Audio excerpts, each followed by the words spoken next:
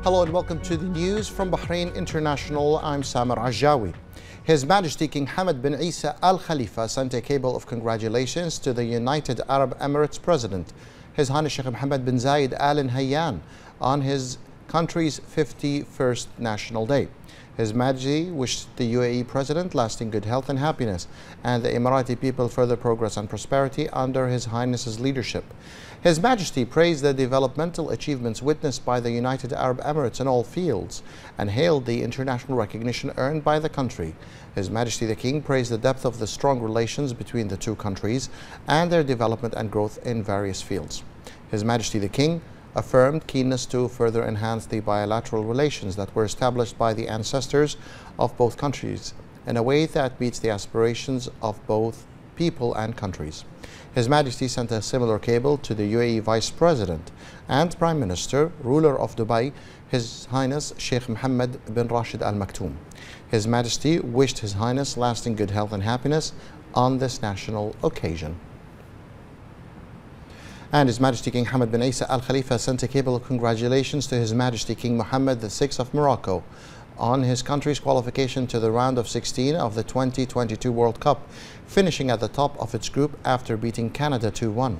In the cable, His Majesty the King hailed the Moroccan team's honourable performance, praising the players' technical talent and spirit of playing during the match and the global sporting event. His Majesty the King wished the Moroccan team success in its upcoming matches and its football march. And His Royal Highness the Crown Prince and Prime Minister Prince Salman bin Hamad Al Khalifa sent a cable of congratulations to His Majesty King Mohammed VI of Morocco on the occasion of his country's qualification to the round of 16 of the 2022 World Cup after finishing top of its group and winning their final match. In the cable, His Royal Highness hailed the Moroccan team's honourable performance praising the players' technical talent and spirit of play during the match and the global sporting event, wishing the Moroccan team success in its upcoming matches. His Royal Highness also sent a similar cable to the Moroccan Crown Prince, Moulay Hassan bin Mohammed. His Royal Highness the Crown Prince and Prime Minister Prince Salman bin Hamad Al Khalifa sent a cable of congratulations to the President of the United Arab Emirates, His Highness Sheikh Mohammed bin Zayed Al Nahyan on the occasion of his 51st anniversary of the UAE National Day. His Royal Highness highlighted the strength of the long-standing Bahrain-UAE relations. His Royal Highness the Crown Prince and the Prime Minister sent a similar cable to the Vice President, Prime Minister of the United Arab Emirates, ruler of Dubai, His Highness Sheikh Mohammed bin Rashid Al Maktoum. The first Deputy Chairman of the Supreme Council for Youth and Sports, General Sports Authority Chairman, and Bahrain Olympic Committee President, His Highness Sheikh Khalid bin Hamad Al Khalifa, participated in swimming trials of the Ironman 70.3 Middle East Championship Bahrain, set to be held in the Kingdom on December the 9th. The trials held today in Arif Island, the same site of the swimming competition, with the participation of 100 swimmers. His Honor Sheikh Khalid expressed pride in taking part in the swimming trials, affirming that the Ironman 70.3 Middle East Championship, Bahrain, consolidates the tremendous efforts exerted by His Majesty, the King's personal representative for humanitarian work and youth affairs, chairman of the Supreme Council for Youth and Sports. His Highness Sheikh Nasser bin Hamad Al Khalifa to implement His Majesty King Hamad bin Isa Al Khalifa's directives to make Bahrain a favorable destination for mega sports events. His Highness Sheikh Khalid bin Hamad indicated that the interest and support of His Royal Highness the Crown Prince and Prime Minister Prince Salman bin Hamad Al Khalifa have contributed to implementing many projects aimed at developing the sports sector.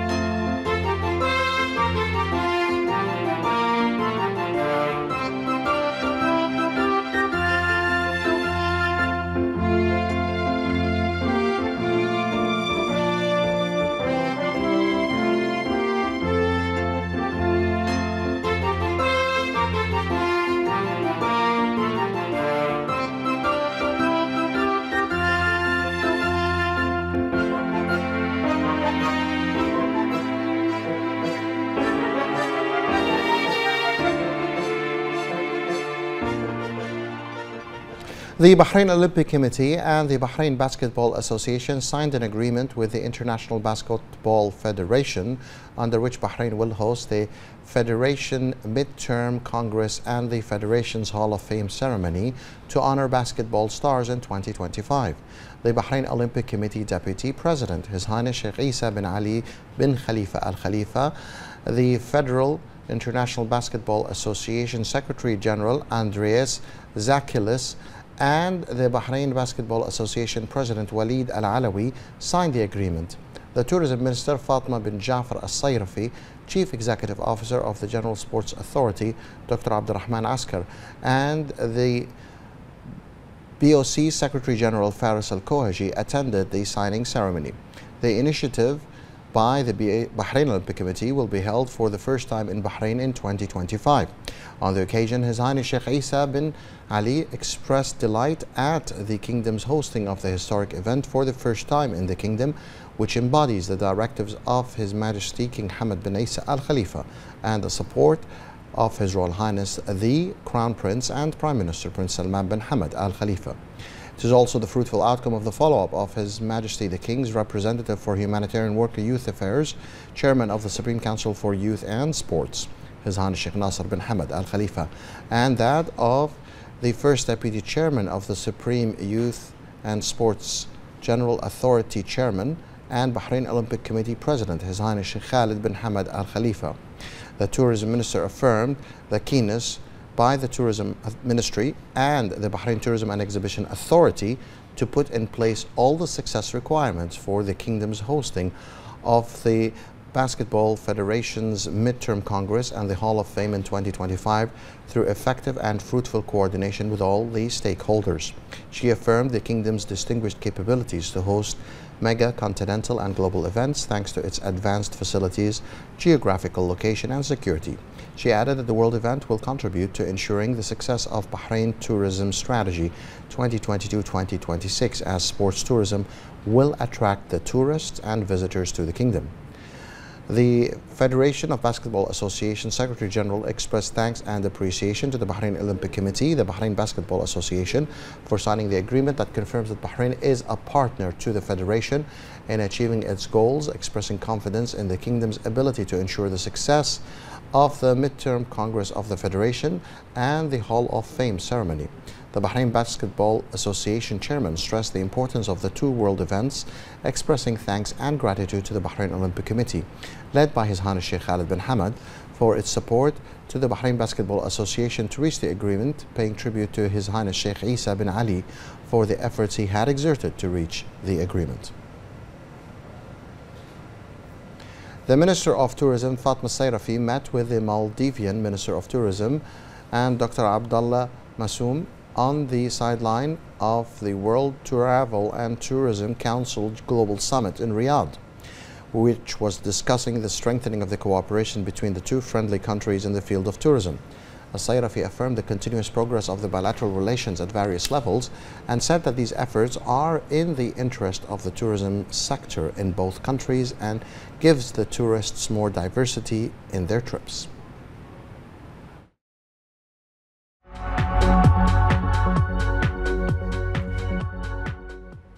The United Arab Emirates celebrates its National Day on the 2nd of December of each year, which is a milestone in the history of the country. This year's celebration of the 51st anniversary of the Union, which was initiated by the founder Sheikh Zayed bin Sultan Al Nahyan, may Allah rest his soul in peace, who had an insightful vision that enabled him to establish a foundation that possessed all the elements of progress and prosperity for more than half a century the UAE was able to attain numerous achievements during its developmental and civilized march, in which the United Arab Emirates solidified its elevated status internationally thanks to the vision of its wise leadership and its determination to move forward in achieving ambitious national strategies and goals.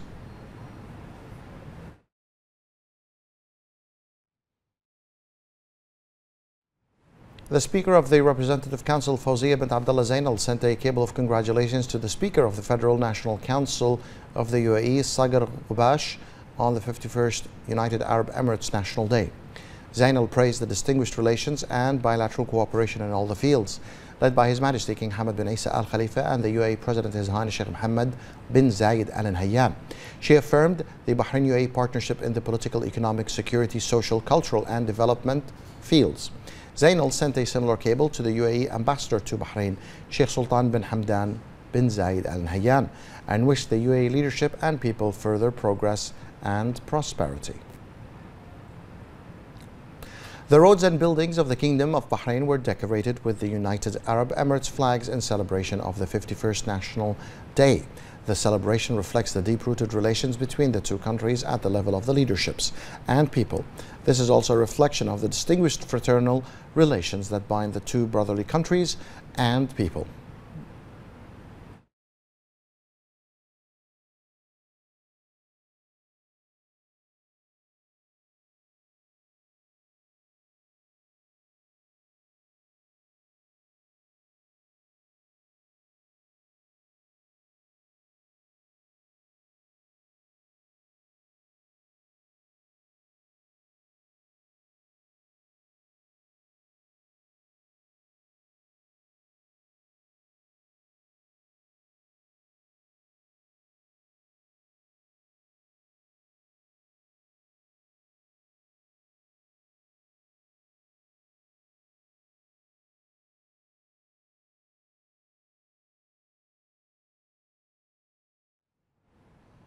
The United Arab Emirates President, His Highness Sheikh Mohammed bin Zayed Al Nahyan, said the country's 51st National Day is a time to look to the future with hope, optimism, and confidence. Recall the lessons of the past and look at the present with awareness and contemplation. In a speech, the UAE president went on to assure that the country will remain a key partner and supporter of everything that brings about progress and development for humanity and enhances the world's ability to meet its challenges, foremost of which are climate change, food security, diseases, epidemics, and poverty. Sheikh Mohammed also paid tribute to the late UAE president, Sheikh Khalifa bin Zayed Al Nahyan, who passed away in May. His Highness Sheikh Mohammed said the UAE's past 50 years has seen the country through many stages in its triumphal journey, from establishment to empowerment, each stage with its goals, facets, and mechanisms of action. He continued to say that taking care of the UAE citizens and opening all avenues of development, creativity, self-affirmation before them has been and will always remain the country's top priority. Sheikh Mohammed said during the next stage of the country's development, the role of Emirati women will be strengthened in all the fields. The UAE's Vice President, Prime Minister and ruler of Dubai, His Highness Sheikh Mohammed bin Rashid Al Maktoum, affirmed that the UAE will proceed under the leadership of UAE's President, His Highness Sheikh Mohammed bin Zayed Al Nahyan, in implementing strategies, plans, policies, and projects in all fields of comprehensive development. His Highness said in a speech he addressed through Dira Al Watan magazine on the occasion of the country's 51st Union Day that the UAE welcomes a new federal year with confidence, optimism, ambition, and determination to attain new achievements and successes. He also pointed out that the UAE is also closely following global changes, monitoring their developments, and dealing with their effects in a manner that enhances its security, stability, and sustains its development, as well as interacting with its Gulf and Arab partners, along with its network of international relations.